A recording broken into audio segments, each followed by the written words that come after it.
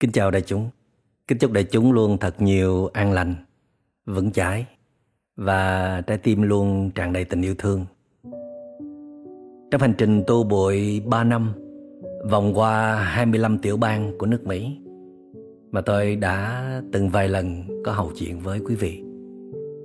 Tôi đã có 6 lần suýt chết và rất nhiều lần gặp những khó khăn vô cùng lớn mà trong đời mình chưa bao giờ trải nghiệm qua.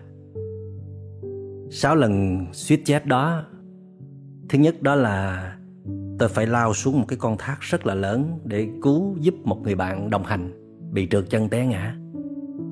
Lần thứ hai là lạc vào một khu rừng sâu suốt hai tuần lễ không tìm được lối ra, bị cảm cúm và không còn một thức ăn nào. Lần thứ ba là bị sư tử núi tấn công, rớt xuống vực thẳm. Lần thứ tư là đi ngang qua sa mạc, bị lạc đường, mắc kẹt trong sa mạc suốt 5 ngày và có hai ngày không còn một giọt nước nào để uống. Lần thứ năm là bị một nhóm người có tâm lý bất ổn tấn công và xả súng. Lần thứ sáu đó là bị một bầy sói tấn công. Và lúc đó tôi đã bước lên con đường tu bụi được 2 năm. Cho nên đã có một nội lực tương đối khá, có một kỹ năng đối ứng hiểm nguy tương đối khá, đặc biệt là với thú dữ. Cho nên là tôi đã có một cuộc chiến sinh tử với bầy sói. Nhưng mà cuối cùng thì à, chú chó bất đã phải hy sinh để cứu tôi. Thì trong những lúc gặp nguy hiểm cận kề, thì tôi chỉ biết dùng hết khả năng bản năng tự nhiên con người của mình đang có thôi. Còn những lúc mà mình gặp hiểm nguy và cái chết nó đến chậm chậm thì tôi mới có đủ thời gian để nghĩ đến những người thân, nghĩ đến những người anh em, nghĩ đến rất nhiều người đang tin tưởng chờ đợi mình, nghĩ đến con đường lý tưởng. Nhưng mà thời gian nhiều nhất để tôi suy nghĩ đó là nghĩ ra phương cách để vượt thoát sự hiểm nguy. Vì tôi luôn tin là luôn luôn sẽ có một cách nào đó. Nếu như à, mình có đủ sự bình tĩnh, đủ sự sáng suốt, đủ sự khôn ngoan. Và đây là những chất liệu đã giúp tôi à, thoát khỏi hiểm nguy, đặc biệt là khi đối mặt với cái chết. Và tôi xin sắp xếp nó theo nguyên tắc của bát chánh đạo, tức là tám con đường đưa đến sự giác ngộ mà đức phật đã từng dạy trước hết đó là chánh kiến và chánh tư duy tức là những cái thấy và những tư duy đúng đắn. Thì trước tiên tôi đặt niềm tin vào quy luật nhân quả và duyên sinh. Nếu như trong sự sắp đặt và vận hành của vũ trụ của trời đất là ta vẫn còn được sống tiếp vài chục năm nữa thì ta sẽ sống thôi. Dù cho uh, nguy hiểm xảy ra dù cho cái chết cận kề thì một cách nào đó ta cũng sẽ được sống và tôi luôn giao mạng sống mình cho trời đất, dù là rất là cẩn thận, dù là ý thức chăm sóc bản thân rất là kỹ lưỡng. Nhưng mà mình không thể giữ hết nỗi mạng mình đâu. Mình còn phải chịu tác động bởi ngoại cảnh mà. Những biến cố bên ngoài có thể lấy mạng mình đi bất cứ lúc nào, như là trận đại dịch đang diễn ra. Dù chúng ta tài năng cỡ nào, dù chúng ta thông minh cỡ nào thì cũng không thể giữ nổi sinh mạng của mình một cách tuyệt đối được cho nên là mình vẫn trông cậy và giao phó mạng của mình cho trời đất. Nếu mình đủ phước, đủ đức, đủ duyên tiếp tục có mặt trong cuộc đời này thì mình sẽ được thôi, mà không cần phải quá lo lắng và sợ hãi. Thứ hai đó là tôi có một niềm tin rằng mình rộng lớn và mạnh mẽ hơn bản thân mình ngay trong giây phút này rất nhiều. Ngay trong giây phút này mình bị chấn động mình bị sang chấn tâm lý bởi cái áp lực quá lớn, quá kinh khủng của ngoại cảnh. Nhưng mà nếu như mình giải quyết được cái nỗi sợ này á, mình bình tĩnh trở lại, thì mình sẽ mạnh mẽ và sáng suốt hơn rất nhiều. Huống hồ chi, nếu mà mình quay trở về để luyện tập, để khai phá bản thân, nhờ cái áp lực của cơn nguy khốn này mà mình đi sâu vào nội tâm của mình thì có thể là mình sẽ mời dậy một số cái tố chất đặc biệt mà bình thường mình không thể tiếp cận hay là phát huy được. Cho nên là phải tranh thủ quay về để luyện tập thể lực, luyện tập tâm hồn. Làm sao cho cơ bắp của thể chất lẫn tâm hồn phải săn chắc lên, phải mạnh mẽ lên và luôn tin là tiềm lực của mình là vô tận. Tôi luôn tin rằng dù mình đang có bệnh dù mình đang có những tế bào ung thư chẳng hạn, thì bên trong cơ thể vẫn còn những vùng khỏe mạnh, vẫn còn những tế bào hết sức lành lặn. Thì những cái tế bào lành mạnh đó, những vùng tráng kiện đó, nó sẽ truyền năng lượng, an lành, nó sẽ đến để ôm ấp, để bảo vệ những vùng hay là những tế bào đang yếu ớt, đang bị hư. Với điều kiện chúng ta tạo ra cái chất xúc tác chúng ta tạo ra sự liên kết đó. Tức là chúng ta phải quay về hỗ trợ, phải có mặt, phải quan tâm, phải gửi tình yêu thương của mình đến. Thứ tư, đó là tôi luôn tin rằng kẻ đối phương hay là hoàn cảnh biến động đang xảy ra, dù nó hung hãn, dù nó nguy hiểm như thế nào đi chăng nữa, thì bản chất của nó vẫn là vô thường thôi nó mạnh, rồi nó sẽ yếu. Nó hung hãn cỡ nào đi chăng nữa, thì nó cũng sẽ mất quyền lực từ từ. Nếu ta đừng ban cho nó bất cứ một cái sự sợ hãi nào. Khi ta sợ hãi, khi phía trước nó, nghĩa là ta đã cung cấp thức ăn cho nó. Dù nó đã suy yếu, nhưng mà ta vẫn tin là nó lớn mạnh, thì nó sẽ lớn mạnh trong tâm trí của chúng ta. Tiếp theo đó là phần thực tập về chánh định và chánh niệm. Định có nghĩa là chúng ta sẽ neo tâm chúng ta lại. Không để nó bay nhảy vô tổ chức. Không để nó suy nghĩ vẩn vơ. Tưởng tượng đủ thứ, điều tiêu cực, tồi tệ sắp xảy ra. Đem nó về để cắm rễ sâu vào hiện tại. Vì dù rằng chúng ta đang có những tế bào ung thư, chúng ta đang có sự lây nhiễm dịch bệnh trong cơ thể, chúng ta đang có những cái đau nhức, những cái tổn thương bên trong nhưng mà chúng ta vẫn còn những cái phần lành lặn, những cái phần tốt đẹp khác như đã nói. Và xung quanh ta vẫn còn rất nhiều điều kiện tốt đẹp. Nếu chúng ta nhìn kỹ, nhìn sâu thì chúng ta sẽ thấy. Theo đó thì chúng ta hãy chỉ tập trung, chú ý vào những điều kiện thuận lợi, những điều tốt đẹp, may mắn mà chúng ta đang có.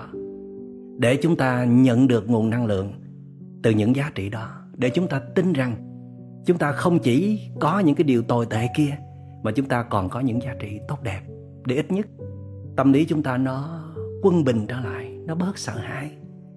Và khi chúng ta neo tâm thật sâu, định thật sâu vào bất kỳ đối tượng nào đó có tính chất an lành trong giây phút hiện tại, thì chúng ta sẽ được kết nối với vạn vật một cách sâu sắc nhất. Và đó chính là khoảnh khắc mà chúng ta sẽ nhận được năng lượng thuần khiết, mạnh mẽ của đất trời đưa đến. Điều đó rất là khó, vì khi bình thường mà chúng ta đã không luyện tập cho mình thói quen an trú, sâu sắc, neo tâm vào hiện tại, thì đến khi biến cố xảy ra, đến khi mình à, có phiền não, mình à, đang bất ổn bên trong, mình đã lây nhiễm dịch bệnh rồi, thì sự an trú diễn ra rất là khó. Nhưng mà chúng ta phải cố gắng luyện tập nhờ sự hỗ trợ của những người xung quanh, hay là bằng cách nào đó để chúng ta quyết tâm phải đưa tâm mình trở về neo ở hiện tại để hồi phục năng lượng trở lại, để mình được cân bằng, để mình có thể mời lên nhiều giá trị khác. Chứ mình không chấp nhận để cho những nỗi sợ, những nỗi lo lắng, những tưởng tượng thái quá nó cứ bao trùm tâm trí của mình. Nó làm cho mình trở nên mất tự tin dần và để giúp cho định chúng ta được sâu á, thì chúng ta cần phải có những nguyên tắc đặt ra, những giới luật. Thí dụ như là chúng ta phải tránh xa internet tv tất cả các thông tin có tính chất nhiễu loạn tâm trí càng nhiều càng tốt. Có những lúc mình cần cập nhật thông tin, nhưng mà có những lúc cần phải tránh xa. Tâm mình nó cần một cái môi trường ưu tú đặc biệt để nó được thư giãn để nó được nghỉ ngơi, thì nó mới an trú và cắm rễ sâu vào hiện tại được. Và chúng ta nhất định là sẽ tránh không tham gia bất cứ những diễn đàn nào bàn luận về chuyện đúng sai. À, có tính chất làm cho năng lượng của chúng ta bị suy yếu, phiền não trỗi dậy.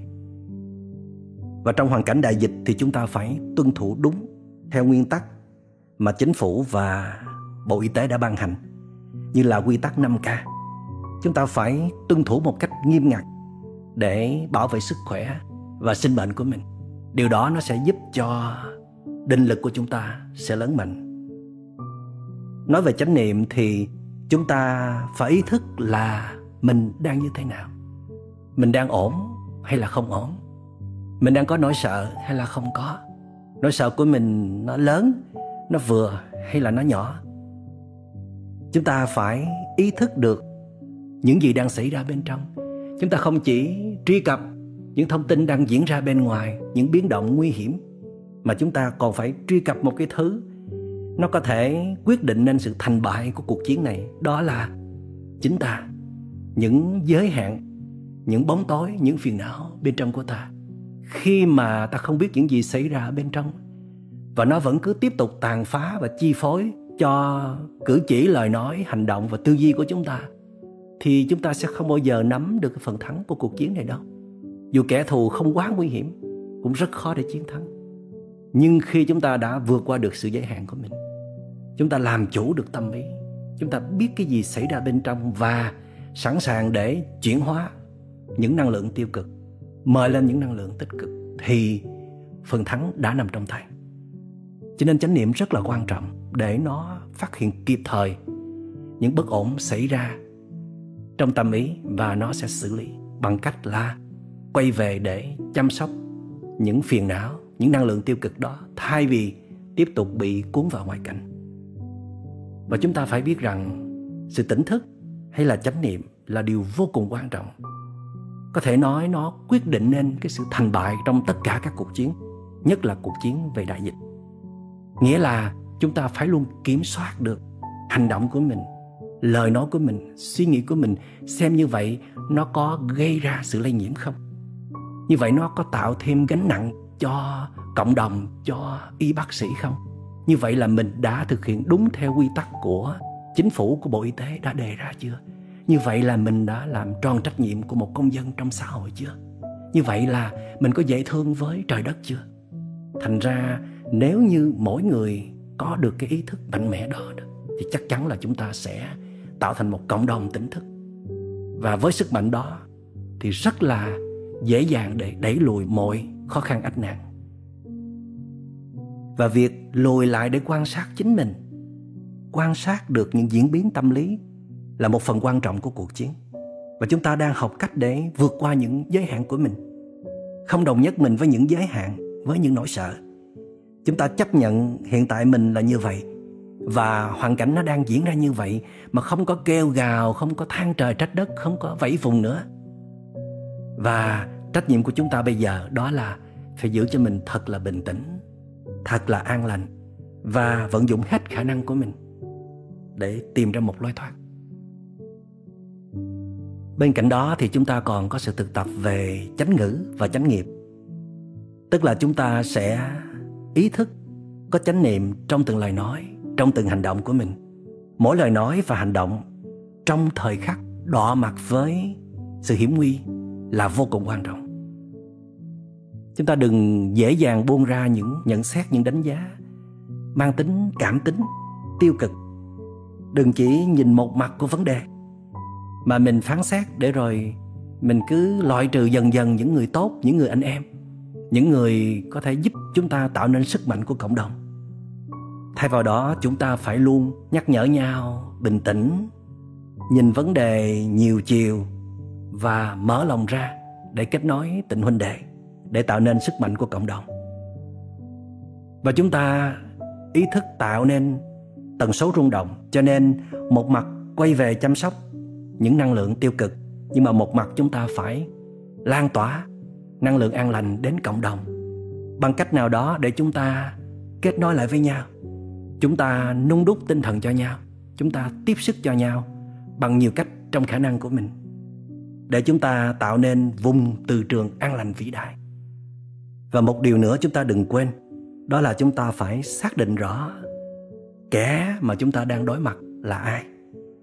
Đó không phải là các y bác sĩ nơi tuyến đầu hay là các vị ờ, thực hành công vụ, họ làm theo cách này, cách khác, không đúng với ý của mình. Đó không phải là những đối tác, những người anh em cùng một mặt trận với mình, đang có những điều bất như ý với mình. Mà đó chính là đại dịch, đó là những biến động đang xảy ra. Cho nên chúng ta phải tập gạt bỏ hết những điều không cần thiết, những điều nhỏ nhặt, những điều chưa cần phải giải quyết trong lúc này để tha thứ cho nhau, để bao dung cho nhau, để ôm ấp nhau, để chấp nhận nhau, để kết thành một nguồn năng lượng vĩ đại và một yếu tố quan trọng nữa của bác chánh đạo, đó là chánh tinh tấn. Tức là chúng ta sẽ nỗ lực không ngừng, không cho gián đoạn tinh thần tỉnh thức, tinh thần của một chiến binh. Dù vậy thì chúng ta cũng nhớ là đừng có quá nóng vội, hấp tấp, tạo ra sự căng thẳng, lo lắng quá mức. Chúng ta cần có sự điềm tĩnh, thư giãn, thoải mái, vì đó là nền tảng quan trọng để giúp cho chúng ta có được tuệ giác có được những cái thấy sáng suốt và mời lên được nghị lực thuần khiết, phi thường nhất của mình. Và khi chúng ta vượt qua được những giới hạn của chính mình, trở thành một chiến binh thật thụ, khi chúng ta mở lòng ra để nới rộng vòng tay với các huynh đệ, với cộng đồng, với xã hội, khi chúng ta đi bên nhau trong niềm tin tưởng và yêu thương, thì chắc chắn là chúng ta sẽ tạo nên một sức mạnh vĩ đại, có thể đẩy lùi mọi ách nạn, kể cả sự nguy hiểm của biến chủng đại dịch như hiện nay. Cho nên cần lắm ý thức quay về, chăm sóc bản thân, chăm sóc và chuyển hóa những năng lượng tiêu cực, những giới hạn của mỗi người. Đây có thể là trách nhiệm tối quan trọng của mỗi công dân trên toàn cầu. Và lúc này là lúc cần thiết nhất. Trở về chăm sóc bản thân. Không chỉ để giúp chúng ta khống chế được đại dịch, mà còn giúp cho chúng ta bước lên một trạng thái mới mà có thể chúng ta sẽ không ngờ. Đó là chúng ta sẽ trở thành một con người mạnh mẽ, vững chãi, quả cảm, đầy tự tin và có tình thương yêu rộng lớn đối với cộng đồng và xã hội. Chúc đại chúng luôn vững tin. Bên nhau, chúng ta sẽ thẳng tiến về hướng mặt trời.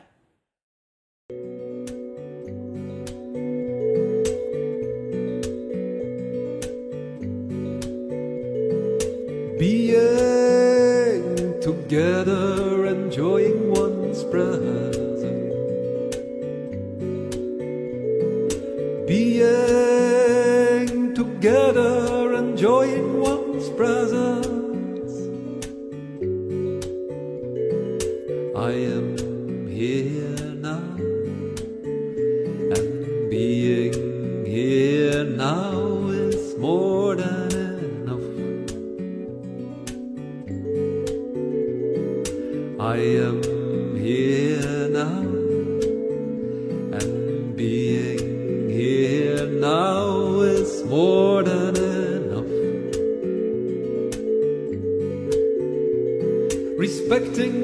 Presence of life within you is respecting the presence of life within myself.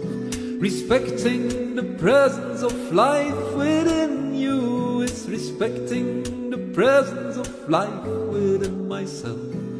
Yes, I choose to focus on what gives me real joy. Yes, I choose to focus on what gives me real joy. Seeing the preciousness of our connection, I no longer want to be divided within myself. Seeing the preciousness of our connection, I no longer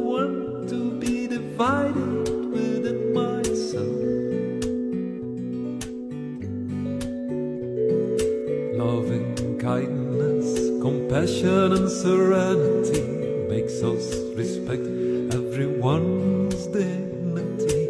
Loving kindness, compassion, and serenity makes us